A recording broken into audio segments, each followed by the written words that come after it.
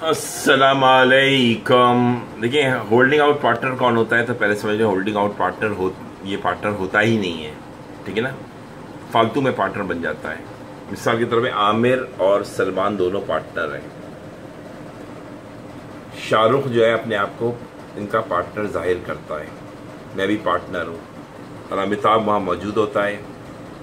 ٹھیک ہے نا؟ اور سلمان اور عامر کچھ نہیں کہتے۔ ہیں شاہ رخ کی بات امیتابھ سن لیتا ہے اور اور امیتابھ سمجھتا ہے کہ شاہ رخ جو ہے وہ پارٹنر ہے، پڑھ لیں۔ پھر کیا کرتا ہے؟ شاہ رخ چلا کی ایک دن امیتابھ سے ملتا ہے اور کہتا ہے، مجھے فرم کے لیے، بزنس کے لیے پانچ لاکھ روپے چاہیے۔ میں پارٹنر ہوں، شاہ رخ کا، میں پارٹنر ہوں، عامر کا اور سلمان کا۔ آپ کو یاد ہے نا؟ کہاں میں جانتا ہوں، آپ کو مجھے یاد ہے، بالکل یاد ہے، آپ نے کہا تھا۔ تو یہ اس سے فائدہ اٹھاتا ہے۔ ٹھیک ہے؟ کیونکہ یہ امیتابھ کے سامنے یہ کہہ چکا تھا، میں پارٹنر ہوں اور یہ دونوں کیا نام ہے، سلمان اور عامر خاموش رہے تھے۔ اور شاہ رخ نے یہ بینیفٹ لے لیا اور امیتاب نے سن لیا تھا کو میں بتا چکا ہوں۔ اگلے دن اس نے یہ حرکت کر لی کہ امیتابھ کے پاس پہنچ کے پیسے پکڑ لیے۔ ٹھیک ہے نا؟ اور پیسے لے کے بھاگ گیا۔ اب یہ عامر کہہ رہے ہے کہہ رہا ہے، تو بہت کمینہ ہے شاہ رخ. سلمان کہہ رہا ہے تم نے شاہ رخ غلط کیا. شاہ رخ بھاگ گیا۔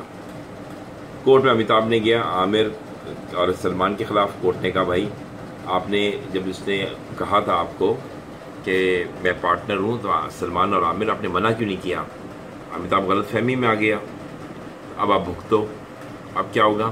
یہ دونوں پیسے پے کریں گے۔ امیتابھ کو پانچ لاکھ، پانچ، اور ملین، پچاس لاکھ یعنی پانچ ملین مانے پچاس لاکھ۔ اور پھر کیا کریں گے؟ ڈھونڈیں گے شاہ رخ کو تاکہ اس سے پیسہ ریکور کریں۔ پکڑا گیا شاہ رخ تو پھر اسے کورٹ کے حوالے کریں گے اور پیسے ریکور کریں گے۔ بات سمجھ میں آ گئی؟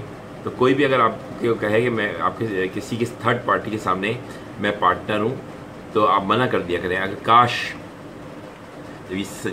شاہ رخ نے کہا تھا، عامر سلمان منع کر دیتے تو امیتابھ پیسے نہیں دیتا پھر ان کو، سمجھے یا نہیں؟ ان کی خاموشی نے امیتابھ کو یہ امپریشن دیا کہ یہ پارٹنر ہے۔ ان کے سامنے شاہ رخ نے کہا، زور سے کہا، یہ دونوں پھر بھی چپ رہے۔ سمجھ گئے میری بات یہ نہیں؟ Thank you